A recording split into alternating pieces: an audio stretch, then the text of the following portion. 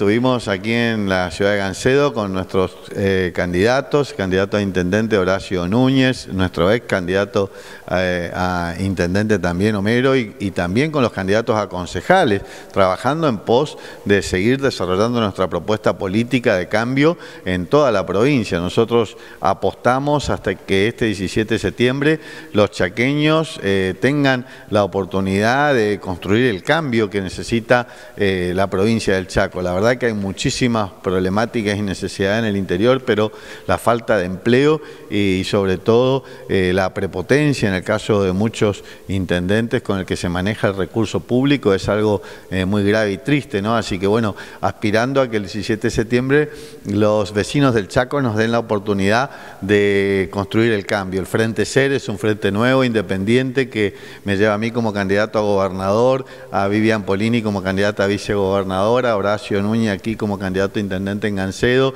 y creemos de que somos la fuerza política que el 17 de septiembre va a tener la oportunidad, si Dios quiere, eh, de eh, empezar el camino hacia la gobernación del Chaco. Le pedimos a todos los chequeños que nos den la oportunidad, hemos recorrido toda la provincia, lo vamos a seguir haciendo y también lo vamos a hacer cuando seamos gobierno, si Dios quiere, eh, recorriendo el Chaco, escuchando a la gente, escuchando sus problemas. Son muchas las cuestiones que aquejan a esta comunidad y por eso estamos convencidos de que el 17 de septiembre vamos a tener el apoyo de Gancedo para el Frente SER y para empezar a construir la alternancia y el cambio que necesita esta provincia. Reunidos con militantes y simpatizantes y gente que nos acompaña, digamos, esta alternativa ser acá en la Casa del Partido Justicialista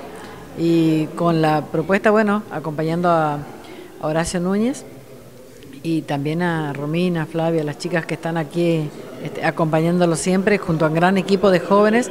que está eh, en este desafío de ser una nueva alternativa como lo estamos planteando nosotros a nivel de la provincia, pero en este caso en la localidad de Gancedo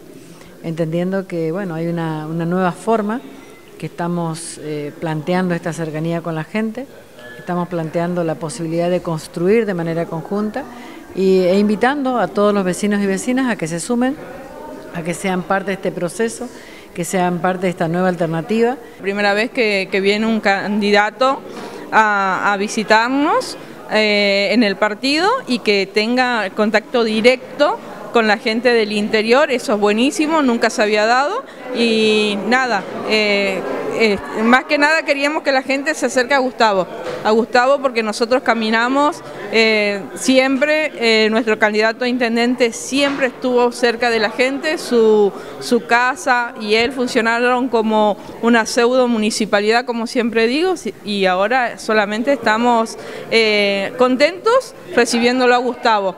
Hemos recibido ahí en su, en su campaña a nuestro candidato a gobernador y candidata a vicegobernador, eh, Gustavo Martínez, Vivian Polini.